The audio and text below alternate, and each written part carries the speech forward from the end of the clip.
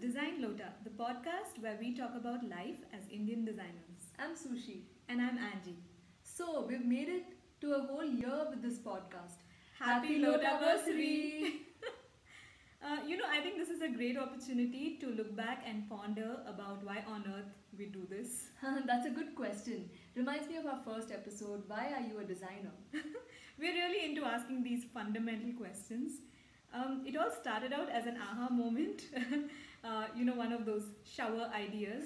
I had been listening to a couple of really great design podcasts, and they all had some uh, really big designers from around the world telling us about their work and about uh, how we can be better designers. And um, I started to question if the stories I'm listening to were specific to the context they're in, and uh, I was wondering what it would be to listen to stories from the Indian context and the stories of Indian designers. And so that's what happened, and I texted Sushi. So, Angie texted me randomly, I think soon after her shower. Yes. hey, Sushi, I just had a crazy idea. Do you want to do a podcast? And I said, sure, why not?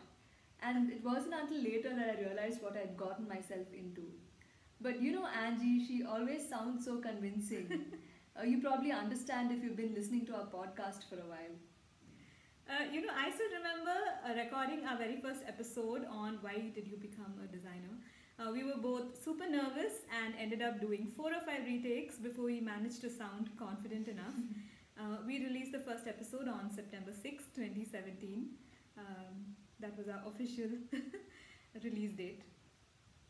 So, 19 episodes later, we have progressed quite a bit, and I think we sound a lot less terrified now. What do you think, Angie?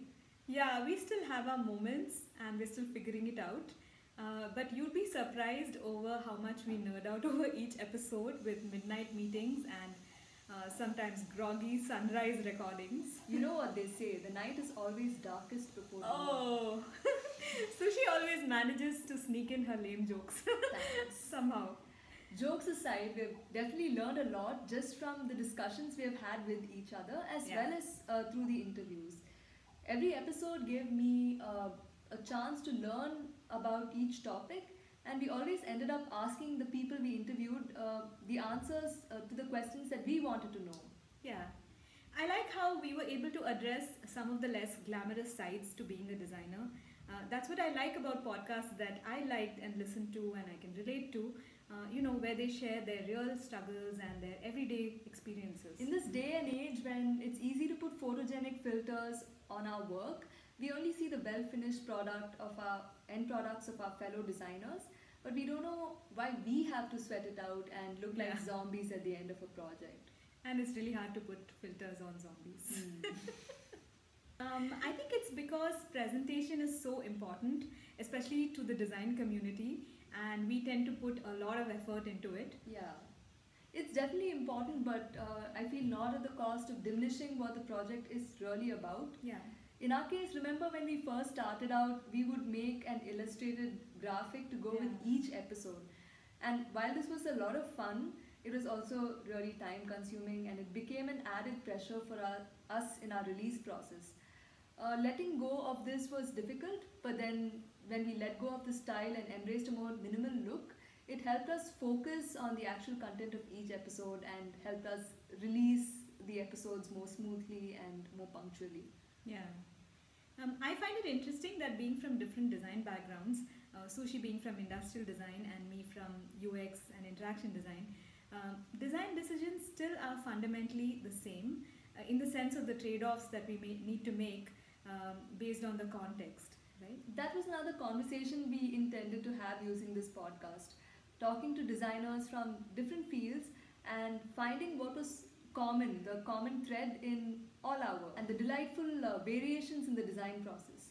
There's always something we can take away and fit into our own individual design processes. That's so true. Uh, now, Sushi, what were some of your favorite episodes uh, so Uh, far?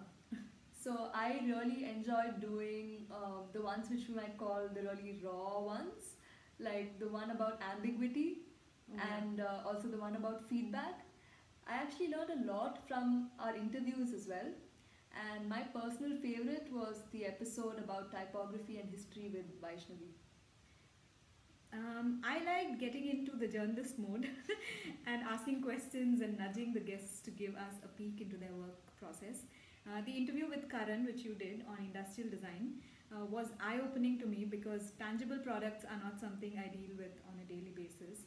Um, also, the episodes that made me uncomfortable and uh, helped me grow um, were the one on sustainability, uh, the one comfort zone, and uh, Martine's interview, uh, which was on portfolios. I think that was a much needed kick in the butt for all designers. yeah, Martine's interview definitely impacted the way I share my work in progress, and I've now made a habit of regularly updating my portfolio without obsessing over the finished product. Um, whether with portfolios or with podcasting, I think the skill that's really helpful is storytelling. That's true. Uh, every designer is a wo- work in progress, so I'm glad we found a way to tell their stories.